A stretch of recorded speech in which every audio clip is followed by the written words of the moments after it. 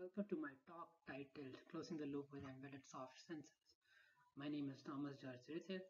I'm a research associate from the Bio-Inspired Robotics Lab in the University of Cambridge. This will be the structure of my today's presentation. I'll first give a brief introduction on why I'm interested in embedded soft sensors, what are their potential applications, uh, some of their working principles and types, and then go into their main challenges. Afterwards, I will present some of our work on addressing some of the challenges and finally on the main topic of today, which is on closing the loop with these embedded soft sensors. If we look at the state of the art in the control of soft robots, we'll see that almost all of the work either use open loop control or the feedback comes from external sensors, typically in the form of uh, cameras. In contrast, if we look at traditional industrial robots, most of them employ internal sensors, typically in the form of encoders or force sensors for their state estimation. Now this difference limits the capabilities of soft robots and, and where we can employ them. Uh, for example, as they are reliant on an external sensor, you cannot really move them around as much without a calibration all the time. Now the question would be how would we get this state feedback for soft robots without external sensors? One solution that we are looking into is using soft strain sensors. What are soft strain sensors? Uh, essentially, they are strain sensitive elastic structures and materials, which means upon application of a strain stimuli, you get sensory responses which are proportional to the strain. Now, the interesting aspect is almost all tactile sensory modalities now can be created using these soft strain sensors for example, forces, deformation, contact location, pressure, etc. can be mod can be measured with the right placement and location of these strain sensors. Now, what can we use them for? The main applications are either as robotic skins, where you would need tactile information for manipulation, for example, very similar to what our humans, uh, the human skin does or can be used as wearable devices just for measuring the state of the user. There are several types of soft strain sensors and they all have different working principles. I will mention a few of them but this is not an exhaustive list. The most common type of strain sensor you'll find is the resistive type shown here which is essentially an elastomeric conductor. And when a strain is applied to this conductor uh, the geometry of the conductor would change hence changing the resistance. So by measuring the resistance of the conductor elastomeric conductor you can estimate the strain applied to the to the material. Similarly you have uh, elastomeric composites where along with the geometric effect you also have change in conductivity itself because of the movement of particles inside the elastomer uh, then you have capacitive type sensors shown here where the geometric changes cause a change in capacitance instead of resistance. So they are ideal, more ideal for uh, contact localization and force sensing. And then you have even optic based strain sensors where an applied strain causes a decrease in light intensity, a change in light intensity. Although they have different working principles, the challenges that all of these soft strain sensors face are the same. There are three main challenges that soft sensors are facing. The first and the most important one is of reliability. When you have viscoelastic material undergoing high deformations uh, repeatedly, you'll have variabilities that are irreversible in nature. And this is a problem that can only be solved uh, technologically. Then there is the challenge of designing these soft strain sensors and how we fabricate them. As I mentioned before, depending on the shape of the sensor and how we place them and how many of them you place, you can obtain different information and different behaviors.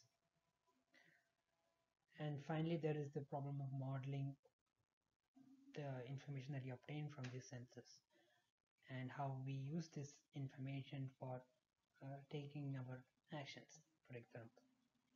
So my talk will be looking into the last two challenges uh, on design and modeling. I'll start with the modeling challenges and some of our proposed solutions for this. As you will see later, this will affect also the design problem. Now we know that viscoelastic materials are highly nonlinear with time variant behavior. This in turn affects the behavior of our soft strain sensors too. And hence, even though we expect that the the, sig the signals coming from the sensor is dependent only on the strain, in reality what you will observe is that it is always a function of strain and time. As you can see on this figure, simple figure here, a normal one degree of freedom flex sensor would have a one-to-one -one mapping with strain and the measured signal resistance in this case. But a soft strain sensor shown in blue here is actually a function of strain over time. So one way of modeling or obtaining the, the true strain value would be by keeping record of the previous uh, resistance values essentially by having a, some sort of memory. Additionally there's there's this challenge that each sensor would actually respond to strain in any direction right? Because they are flexible in all directions they're elastic uh, they're they're yeah they're flexible in all directions unlike again commercial sensors. A single strain sensor in theory irrespective of its design would respond to strain stimuli in, in a, any direction. So if you have multiple strain applied to a single strain sensor you will not be able to identify the strain values in your desired uh, direction. Now this can actually be used an advantage because if you have multiple strain sensors located in different directions you would be able to measure uh, strain in any direction. Uh, so as long as you have more strain sensors than uh, more soft strain sensors than your number of applied stimuli you should be able to uh, estimate all the applied strain on the body. Now that we know that the behavior of a soft strain sensor is a nonlinear complex function of strain and time we can actually use machine learning tools that are suited for these type of problems Specifically, we'll be using recurrent neural networks for learning the mapping, for modeling these soft strain sensors. And by modeling, I'm referring to grounding these soft strain sensors to the external strains, external sensor that we were using before. Or in other words, we are trying to obtain the same information that we obtain from our external sensors but from our embedded sensors. And to do this, you'll have a, a learning phase during which the information from your external sensor and your strain sensors is mapped. And once this mapping is performed, you can replace your external sensor completely with uh, your embedded sensors. Similar to how we learn our sensory mappings. This is one of our works which shows the importance of having soft strain sensors and using these learning based methods. So we have a one degree of freedom soft actuator which bends in one direction shown here and we make two copies of them one with three soft strain sensors embedded inside them and one with three commercial flex sensors. So these commercial flex sensors um, will respond only to bending in one direction. this uh, the soft or both the systems have sensors of different shapes and sizes shown here and they're placed randomly more or less again we uh, we ground the, the date sensory data with uh, two kind of external signals. One is uh, using visual markers to measure the deformation of the actuator shown here. And the other is we use a load cell to measure the forces that the soft actuator will apply once it is in contact with the external environment. Uh, the reason why we introduce contacts is because a soft actuator once it comes in contact with the environment it will excite the passive degrees of freedom. And one would expect the soft sensors uh, being more sensitive to multiple stimuli would perform better once you have in contact once you come in contact with the external environment. And as expected the soft strain sensor performs much better than the commercial flex sensor once there is contact with the environment or once the pass the degrees of freedoms are excited.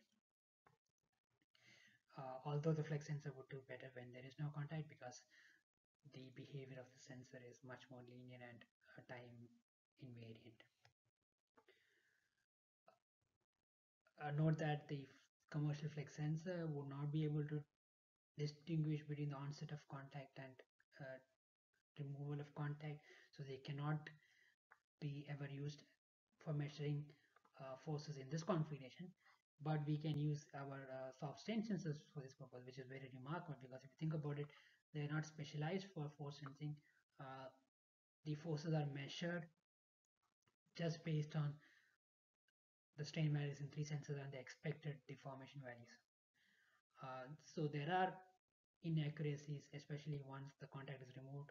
Uh, as you can see here, there is a longer delay in detecting that the contact has been removed, but otherwise it uh, does remarkably well in considering the fact that there are only three sensors and the sensor data is very noisy. and here we can see why the soft strain sensor behaves much different from the commercial flex sensors uh, where you see the behavior of the uh, the data points of the sensors when you have once you, even when cases when you have contact so all the three flex sensors even though they are of different length and placed in different uh, locations they all contain the same information essentially because they can only bend in one direction. And the actuation is, is, is done in that direction. Uh, but the soft sensors uh, as they have different lengths uh, when there is a contact with the environment either at the tip or at the center each of these sensors will behave differently because uh, now the, the the force distribution is not uniform throughout the body and hence uh, you get information that is different from each uh, other in, in these senses and that can be used to distinguish uh, the presence of contact or to determine the deformation of the actuator. Now we will look into the design problem of soft strain sensors. Uh, as we mentioned before, uh, the behavior of these soft strain sensors are highly non-linear depend, uh, dependent on, uh, on time on how, how it is shaped, the location, and even the surrounding matrix.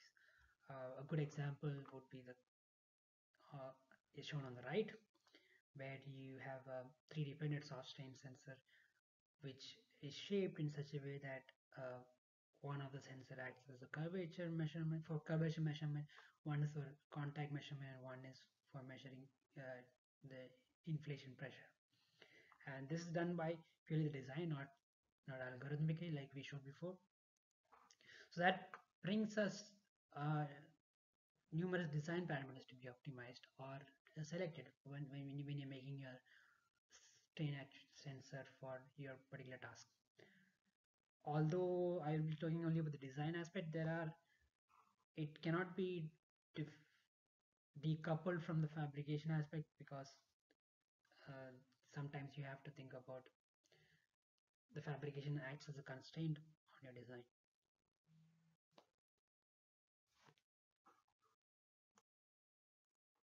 So one of the problems that we were interested in is uh, designing soft sensory arrays for contact localization. That is uh, figuring out the location of contact using soft strain sensors. And the most common way of doing this is uh, using designs like shown below, where you have this strain sensors arranged in a grid-like manner, and based on the resistance uh, values of all the strain sensors, you can detect uh, the location of the contact and even the forces applied. But this is really inefficient if you think about it because uh, for each contact you only have two sensors active at all times. Uh, assuming the size of the object uh, is, is fixed. And also if you have one damage sensor you are losing sensitivity in a huge area of your network. So this is although this is very good for modeling because this makes modeling very easy uh, this design would be very inefficient and is not optimized for robustness to damage or for uh, better accuracy. This work I'm presenting uh, looked for designing better strain sensor arrays uh, specifically for higher robustness to damage. So if we had one or two sensors being damaged, we would want to still maintain the functionality of uh, contact localization. The way you would do that is by having redundant sensory configuration. So having multiple sensors covering the same areas. Uh, to begin with, you would need to first parameterize each sensor shape. And how we do that in this work is by defining each sensor shape by n points in a 2D plane, uh, like shown here, where uh, here where n is equal to 5. And once your n points or 5 points in this case are defined, you do a shape preserving interpolation to get the shape of your sensor. So once you have parameterized each sensor, you can get the whole design of your sensor and then you need a way to evaluate how each of these sensory arrays perform. And to do that is not so trivial because we don't have an exact model of how each sensor would behave. So in this work, we show that an entropy based method uh, would give an approximation of how good a sensor array would perform. So eh, once the shape of a sensor uh, array is, is, is determined, you can simulate how much information this array would contain, how in, or specifically the joint entropy of this array would can be measured uh, for contacts within the area of this uh, array. And by optimizing this joint entropy information, you can get more robustness to damage or, or essentially you're getting more redundancy. Each area is being covered by uh, multiple sensors.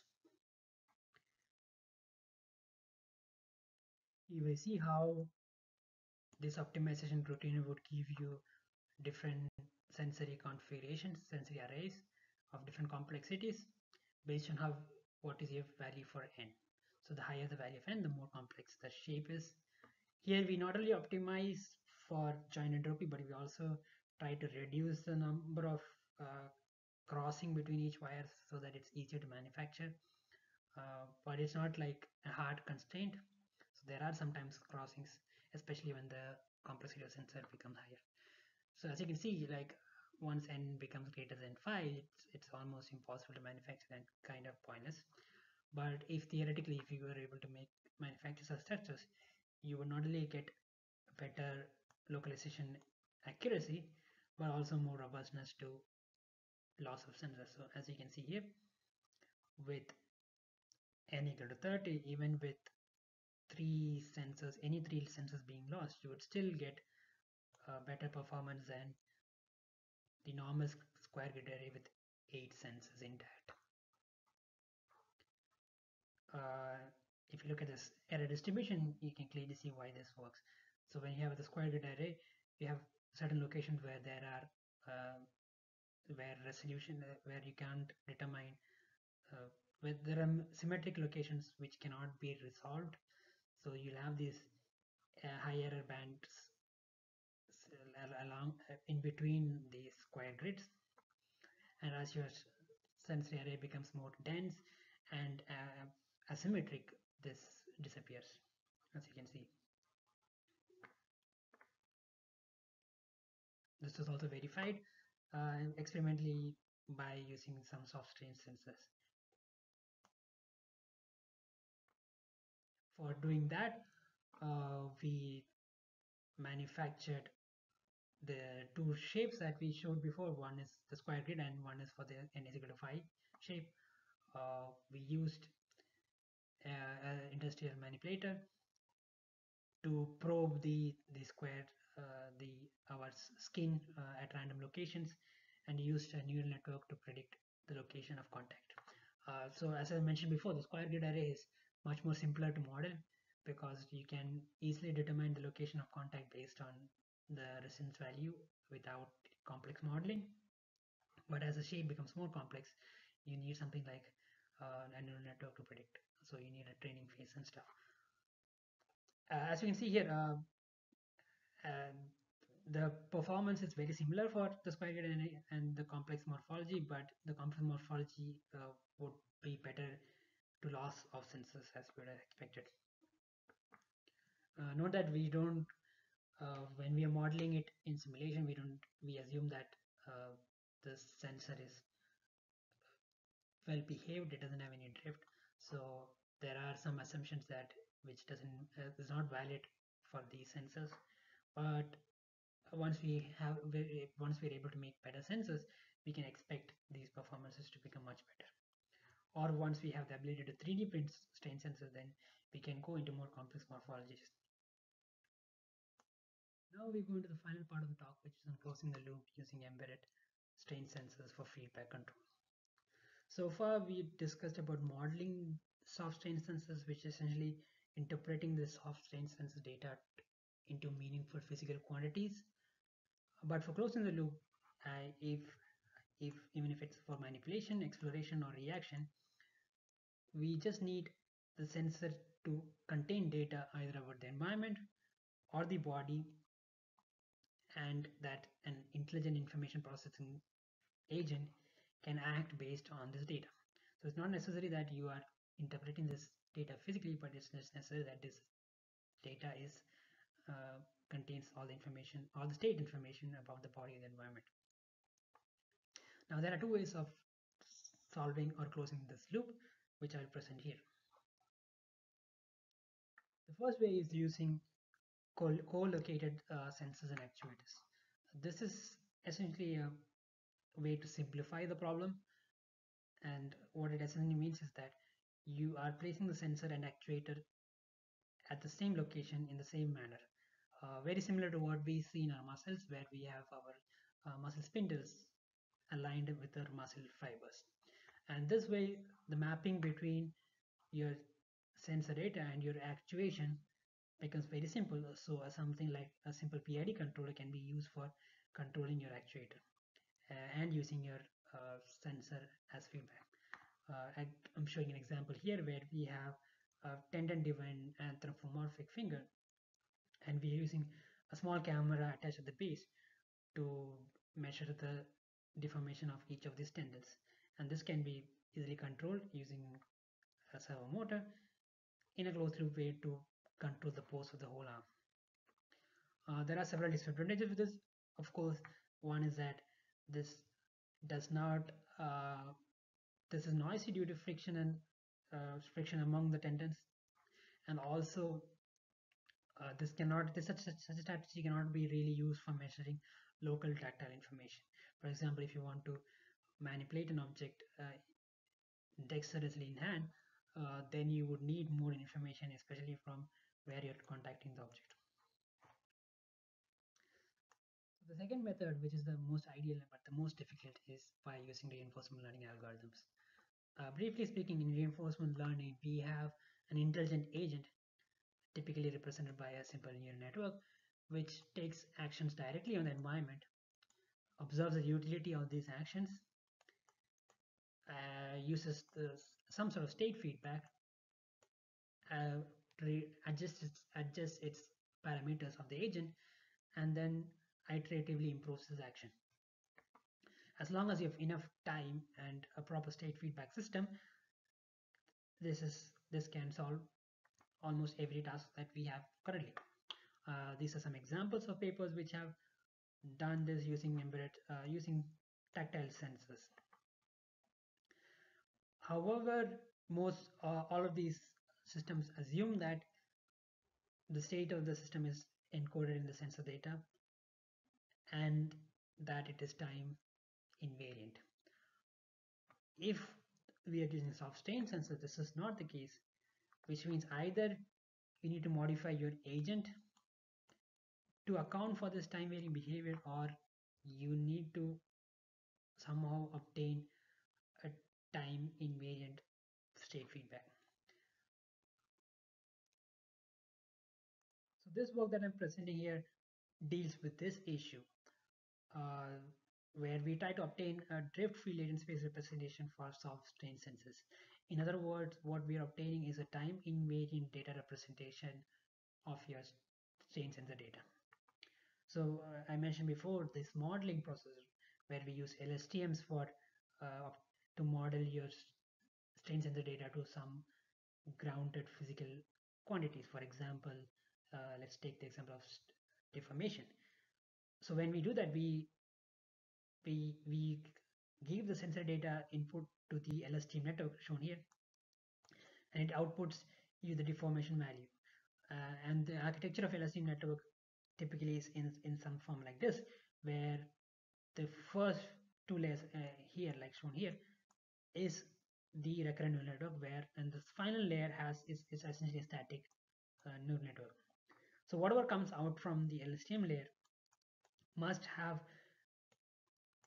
a time invariant behavior for us to obtain an output which is time invariant.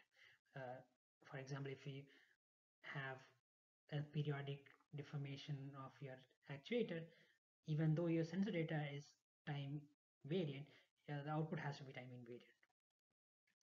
So what we can do is actually train your model for some supervised task and then later reuse the weights of your first trained model for a different task.